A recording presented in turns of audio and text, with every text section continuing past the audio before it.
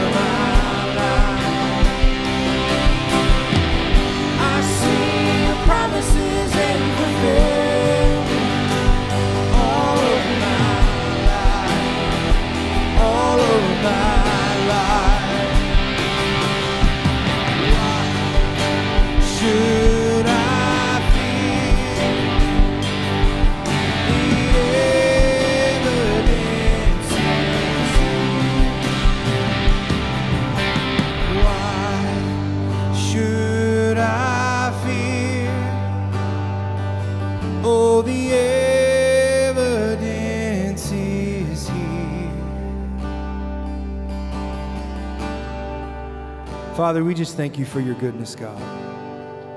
We thank you, God, that it is evident, Lord, every day of our life, God. Help us to be able to look, Lord, and to find these, these ways, Lord, that you are good, the ways that you are faithful, Lord. We just celebrate your goodness today, God. We pray, Lord, that you would meet us where we are today, God. We pray that your Holy Spirit would move in our lives. It's in your Son's name we pray. Amen. The mission of the United Methodist Church is to make disciples of Jesus Christ for the transformation of the world. Here at Christ Church, we're a United Methodist community, and we accomplish that through a simple three step process experience God's love, develop relationships, and revive the world through service. For experiencing God's love, in two weeks we will be starting our Advent series, and it is titled The Year That Stole Christmas. And I know that some it might feel like Christmas has been stolen this year, but I promise it's not, and we're going to talk through that. Along with our new series, uh, we will be adding an additional online service at 8.30 a.m. on all of our usual platforms, and this service will be more traditional in nature, featuring hymns uh, as the worship music. For Develop, we will be having cheer bags, and these bags will be going along with our Advent series that's starting in two weeks and there will be a bunch of fun things for you to do with your household in those. Uh, if you're in a small group, your small group leader will be delivering those to your home on the week of Thanksgiving. If you're not in a small group, we would love for you to get connected uh, through our website. There are connect cards on there that you can fill out, uh, and we would love to get a cheer bag to you. For Reviving the World, uh, we are adopting families from Buchanan Elementary and from Fairmount Pines this year for Christmas. Uh, there will be families from two members to six members, and we would love for you, if you feel called, uh, to be able to supply Christmas gifts for them. There's more information for that on our website. You can also come alongside us in our mission through your tithes and offerings. There should be information on the screen now uh, to do that. Now, will you please continue in worship with us?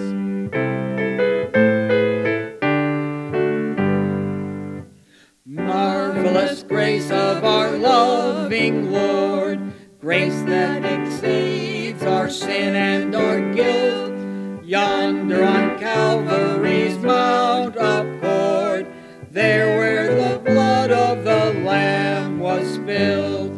Grace,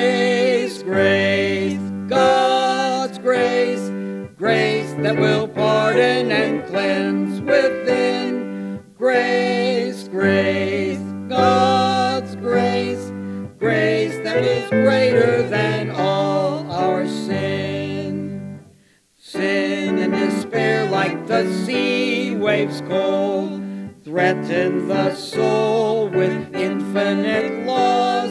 Grace that is greater, yes, grace untold, points to the refuge, the mighty cross. Grace, grace, God's grace, grace that will pardon and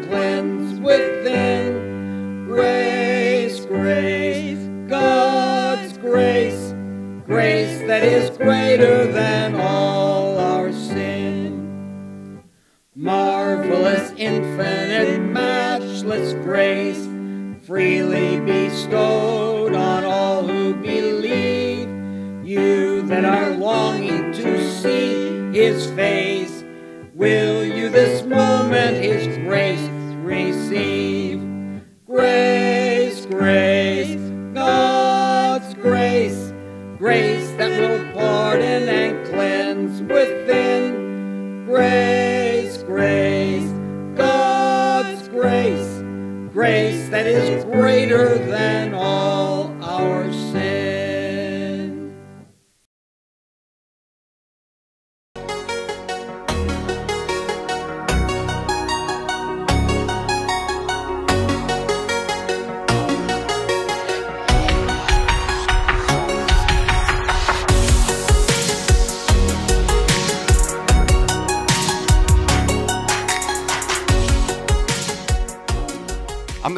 person that always likes to look for the bright side in any situation.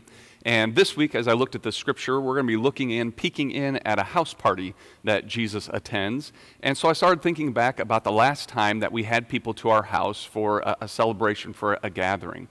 And that was a little bit depressing, uh, given our current situation, that I had to keep thinking back further and further. And I think the last time that we had folks over just for a, a celebration was uh, in February when our small group came over to watch the Super Bowl with us. And I remember that party as everyone was there and we were eating and, and enjoying that time. Uh, but everyone left after the third quarter, and my Chiefs were uh, losing at that time, so everyone gave their condolences as they left. Uh, but then before most of them got home, the Chiefs were then ahead and they went on to win uh, the Super Bowl. So uh, I'm not sure what that says about how good of a host I am for parties. And again, that wasn't necessarily the bright side. The bright side that I thought about was I think it's been about eight months since the kids and I have had to do cleaning in the house in order to host people for just a few hours, you know? Uh, that's the bright side for me. I think it's been eight months since we had to do that, that cleaning for guests where you got to scrub every inch of things and get into every corner just to host people for a couple of hours at the house. Um, now, of course, we've done our regular cleaning and those kind of things, but one bright side, we haven't had to do that party cleaning uh, for quite a long time. And, and, as I mentioned, I was thinking about that uh, because we are going to look at Jesus going to uh, a dinner party uh, at, at, someone's house uh, in the scriptures. We've been going through the Gospel of Luke, chapter 7, and just seeing what Jesus has been up to and how that then applies to our lives. And we're going to finish up chapter 7 today. I did skip a few verses uh, because there were some that focused on John the Baptizer and weren't focusing on Jesus, so uh, we skipped those in this chapter. Uh, but we're going to finish up the chapter here today, and then next week we'll just get to the beginning of chapter 8 and just see what happens right after this chapter in Luke's Gospel. So I'm going to read the passage for us. We're looking at Luke 7, verses 36 through 50. Now, one of the Pharisees invited Jesus to have dinner with him. So he went to the Pharisee's house and reclined at the table. When a woman who had lived a sinful life in that town learned that Jesus was eating at the Pharisee's house, she brought an alabaster jar of perfume. And as she stood behind him at his feet weeping, she began to wet his feet with her tears. Then she wiped them with her hair, kissed them, and poured perfume on them. When the Pharisee who had invited him saw this, he said to himself, If this man were a prophet, he would know who is touching him and what kind of woman she is, that she is a sinner. Jesus answered him, Simon, I have something to tell you.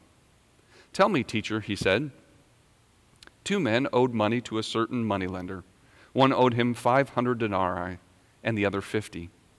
Neither of them had the money to pay him back, so he canceled the debts of both. Now, which of them will love him more? Simon replied, well, I suppose the one who had the bigger debt canceled. You have judged correctly, Jesus said. Then he turned toward the woman and said to Simon, Do you see this woman? I came into your house. You did not give me any water for my feet, but she wet my feet with her tears and wiped them with her hair. You did not give me a kiss, but this woman from the time I entered has not stopped kissing my feet. You did not put oil on my head but she has poured perfume on my feet. Therefore I tell you, her many sins have been forgiven, for she loved much. But he who has been forgiven little loves little. Then Jesus said to her, Your sins are forgiven. The other guests began to say among themselves, Who is this who even forgives sins? Jesus said to the woman, Your faith has saved you. Go in peace. This is the word of God for us today. This is the, the longest and kind of most, most detailed um, passage in Luke's seventh chapter. And so there's a lot we could get into. I'm going to try and stay focused, though, and uh, just give us the big picture and see what God might speak to us today. Uh, but Jesus is invited to this dinner party at a Pharisee's house. A Pharisee, we, we learn his name is Simon. And a Pharisee was a religious leader in Jesus' time, well respected in the Jewish community and someone that a lot of people would want to be around. And so he has invited Jesus to come and have dinner with him at his house. And a lot of Pharisees in Jesus' time had some conflict with Jesus. They believed Jesus saw things in their faith a little bit differently than he did. But this one was kind of open and, and willing to host Jesus in his house. And so he has Jesus come over. And it says, as they're having that dinner party, then that there are uninvited guests that are around. And now that to us seems a little strange. That's not common in our day to have a dinner party and have uninvited guests come. I, I, hope that people don't just show up often at your house, but maybe every once in a while you have an uninvited guest. But in Jesus' time, uninvited guests were all over parties like this. Uh, it would have been common for, uh, for uninvited guests to be around. Because they didn't have movie theaters or coffee shops for hanging out or entertainment, that when someone had a party, the, the guest would get there and the guest would have a place at the table. And then uninvited guests, everyone else in the village is welcome to come. And, and they could stand around. They tried to stay, they weren't going to the table, but they'd stay away and, and stand back in the room or in, in windows or doorways. And they would come because they would get to participate in the entertainment or the teaching that was going to take place. So this was kind of a common thing to have uh, these uninvited guests around them. And one of those uninvited guests was a, a woman. And it said that she came, and I, I assume she didn't just kind of stay back because she made her way to Jesus' feet. And as she stood over his feet, it said she began to weep. And, and her tears fell on Jesus' feet. And as she saw that his feet were getting wet, she bent down and, and with her hair began to dry his feet. And she kissed them and she poured perfume that she had brought uh, onto his feet. And as she was doing this, uh, which was kind of a common thing at, at as people had their feet washed. You probably heard of foot washing uh, back in Jesus' time. And so it's a little different, again, than we would picture it. Uh, they didn't have a table like this where you'd sit on a chair and have your feet under the table. It was more of a, a table that was lowered to the ground, and the, the guests would sit at like a couch, and they'd have kind of a cushion where their left arm would, would lean, and then with their right hand they could grab their food, and they'd lay their feet out behind them. And just it says he was reclining at the table. And so that's kind of how Jesus was. And so she stood back by his feet. And then having his feet washed was, was common because back in those times, people would walk around either with no shoes or with sandals on those dirty, dusty roads. And so it would be often a thing that you would offer as hospitality, as someone would come into the home to wash their feet. Uh, somewhat to keep some of the dirt and things out, but also just to refresh them uh, and just show them that hospitality. And so she begins to, to wash his feet and, and to care for his feet. And we learn that this woman that is doing this uh, has a reputation. She's well known uh, among the village and the area. And one translation that, that I read uh, called her a harlot. Uh, the NIV just says this was a woman who had lived a sinful life. Uh, but our assumption is that she does not have a husband, but she has been with many men. And so that reputation is known. And uh, Simon begins to wonder who Jesus is, that he can't be a very powerful prophet if he doesn't realize that it's a sinful woman washing his feet. And he just thinks that in the scripture, but yet Jesus uh, says answers him. And Jesus responds to those thoughts in his mind. And, and, we might think, oh, he knows what's, what's going on in his head. He can read his mind or he can read his heart. Uh, my thought is, I wonder if he can just read his face. If it's just the eyes and the facial expression of Simon as he glares at that woman, that Jesus realized what's going on inside of him. And Jesus responds. He sees a, a teaching moment about to happen. And so he shares a parable, and a parable is a story with a point.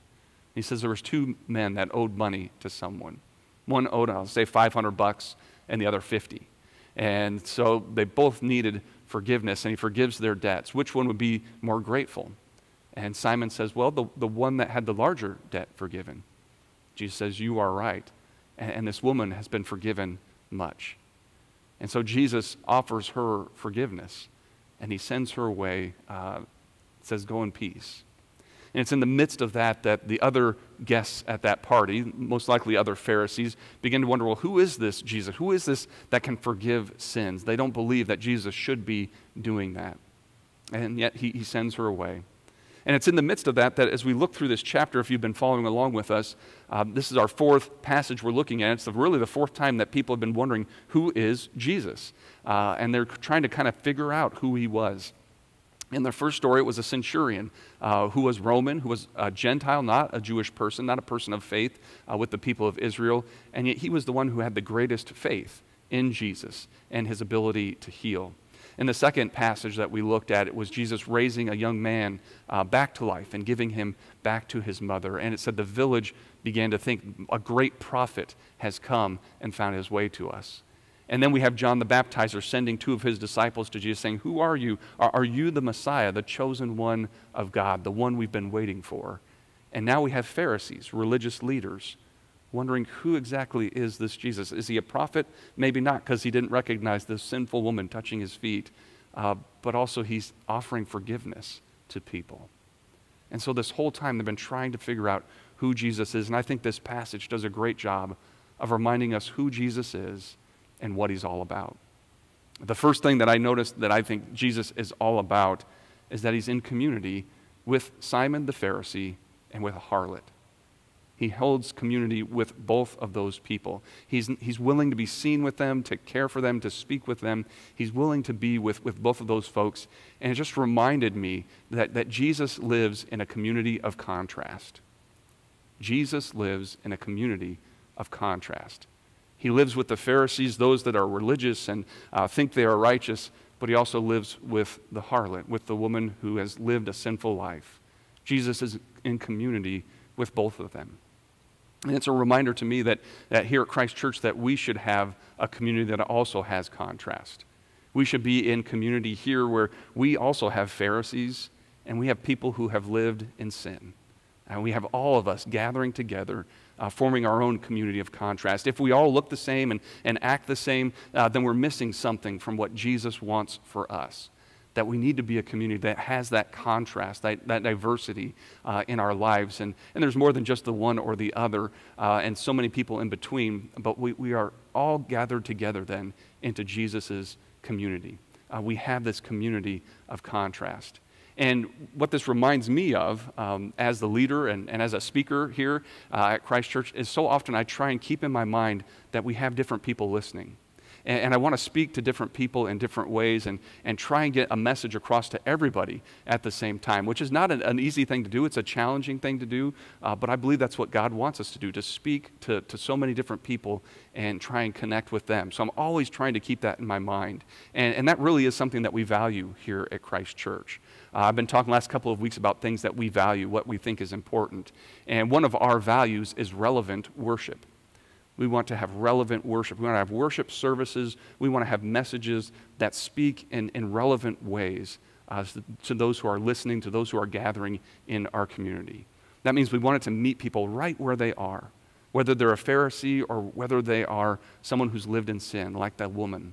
Uh, we want it to meet them there and, and speak to what's going on in their life.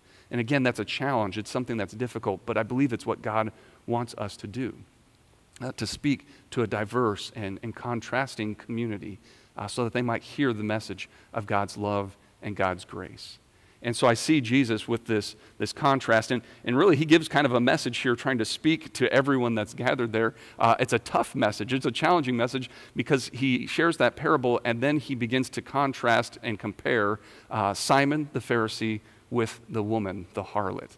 And I don't think I could ever do anything like this. Um, but if y'all would want me to do a message, maybe it's a new message series we do. If you want to volunteer, I can have one of you stand right over here and have somebody else over here, and then I can begin to tell all the bad things that you've done. I can tell, here's what you've done wrong, uh, here's where you missed the mark, here's uh, where you're just not doing it very well. And now let's look at this person and look at how great they are. They've done wonderful and they're awesome. They're, really, what he's saying is, is, Simon, why can't you be more like her? Right? Isn't that the message out there? Simon, can you not act like this woman? She's the one who acted uh, honoring and, hosp- and giving me hospitality as I gathered here at your house. And so he's contrasting their behaviors in, in order to try and teach them uh, a message and, and speak to where they are in their lives. And so that's uh, uh to me a huge challenge. Again, I would never do that because even if someone, if I saw that happening, I would kind of get all cringy and um, just kind of feel the pain of the person up there publicly being called out like that. I, I won't do things like that. But Jesus does it here. And, and I think, again, he's trying to, to reach them and speak this message to them, to show them that, that God has something more in store for them. Uh, that God wants them to, to change their behavior. And, and honestly, I, I see the woman is the one that's changed here. As she goes away, she knows that she belongs to Jesus' community. She knows she belongs with him. And so he's speaking that to her. And I think he would tell that to Simon too. Simon, you can learn, you can grow, you, be, you can begin to act uh, the way that she did. And that can be a transforming thing in your life. And so he's speaking to two different people, and, and yet I think there's really just one message that he's trying to offer to them. They kind of have two different takeaways. Uh, he's saying, Simon, you need to, to see this woman a little more. I love that he, he asked after that parable, Do you even see her? Do you see this woman? Do you see who she is? Uh, the, the love that she has to give or do all you see is the past, the past sins that she has lived? You need to see who she really is. He wants him to open his eyes. And for the woman, he says, Go in peace. He wants her to, to go knowing that she has been forgiven and that she is uh, someone who belongs in Jesus' community. And so they're both having something to take away from this situation. And, and in a sense, it looks different, but also I think it's really just about one thing I think there's really just one message that Jesus is trying to share with both of them. And, and we see it in his parable. Did you notice in his parable, he has two people that owe money to a moneylender? And which one of them needs forgiveness? Which one needs forgiveness for their debt? It's both of them, right? Both of them, not just the one with the larger debt, both are forgiven and set free.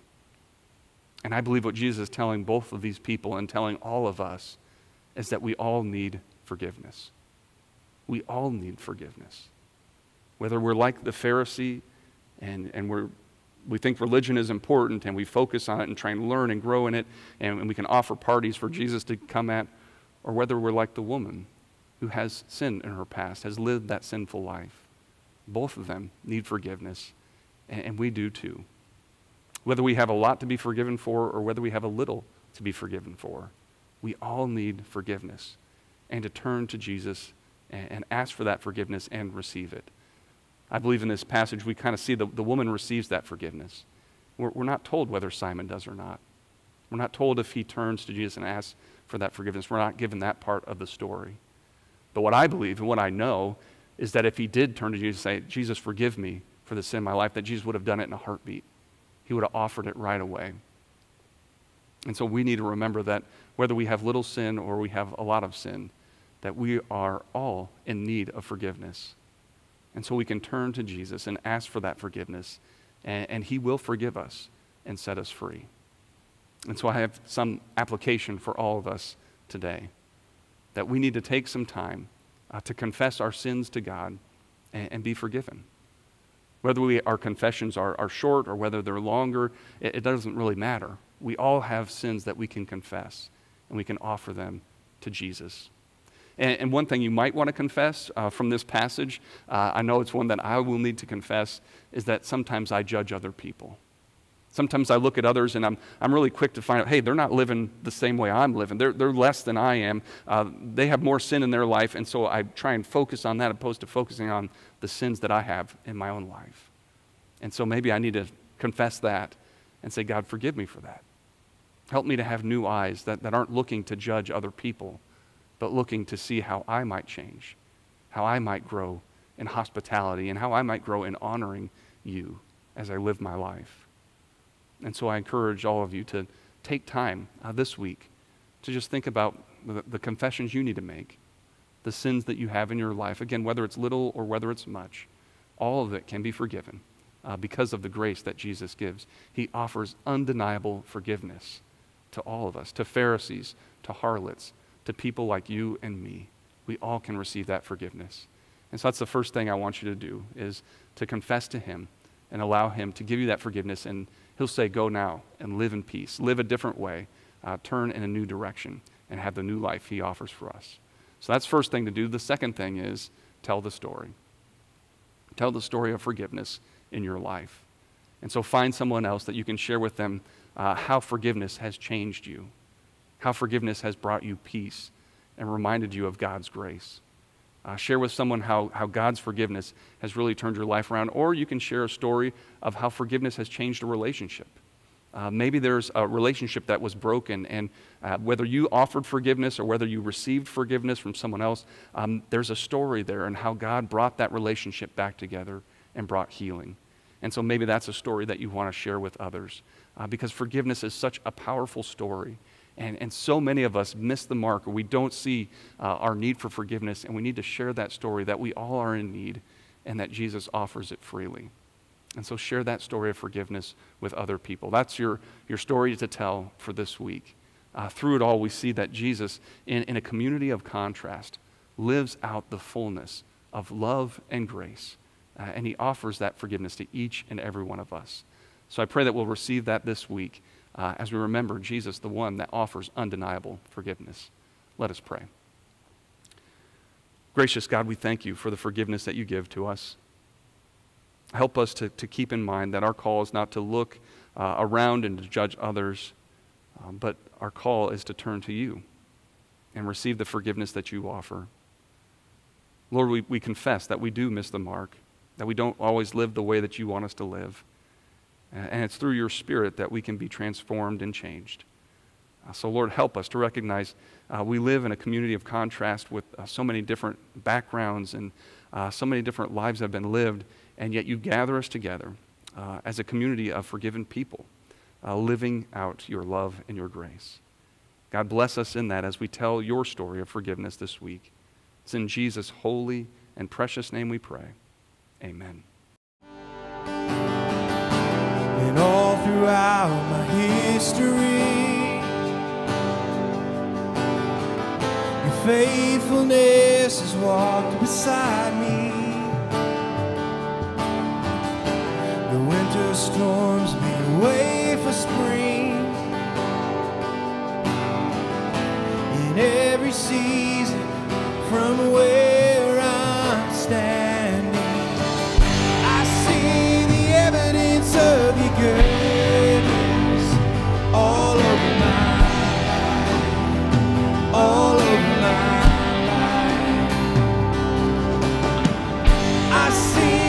promises ain't fulfilled.